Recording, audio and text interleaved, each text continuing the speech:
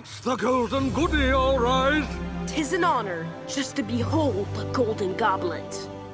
Behold all you want, Sir Goody Two Gauntlet. Ah! But it shall be mine. Ha ha!